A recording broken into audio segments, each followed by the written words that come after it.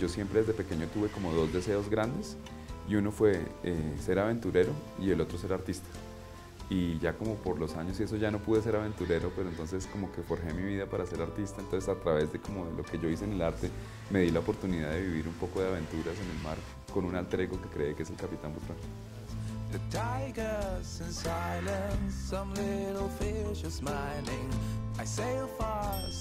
Cuentos para niños con barba tiene dos razones. Una es porque yo siempre he tenido barba y es como uno de, como de mis rasgos más específicos. Y lo segundo es porque a medida que yo lo fui desarrollando me di cuenta que tenía elementos que, que funcionaban para, para niños y para adultos.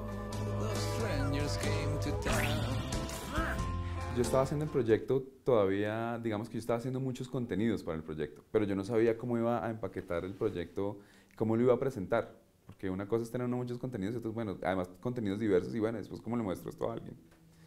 Y en esos momentos estábamos eh, como haciendo el proyecto que siempre lo he trabajado con mi mujer. Y mi mujer eh, empezó a buscar una convocatoria y salió Crea Digital, que tenía una categoría que se llama Sorprende Digital, y le caía como anillo al dedo al proyecto. Entonces lo que yo pensé cuando vimos la, la, convocatoria fue que yo le dije a mi mujer, pues hagamos el, hagamos el proyecto y mal que bien pasemos o no ganemos, por lo menos nos obliga ya como a poner bases serias de cómo vamos a, a, presentarles esto al público.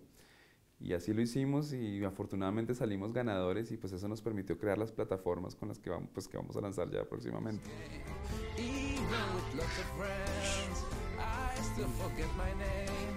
Los quiero invitar a que sigan el proyecto en Facebook, en nuestro fanpage, en Cuentos para Niños con Barba, o que descarguen la aplicación en el App Store, eh, Butrón Cuentos para Niños con Barba.